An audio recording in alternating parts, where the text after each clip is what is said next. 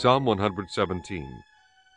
O praise the Lord, all ye nations, praise him, all ye people, for his merciful kindness is great toward us, and the truth of the Lord endureth forever.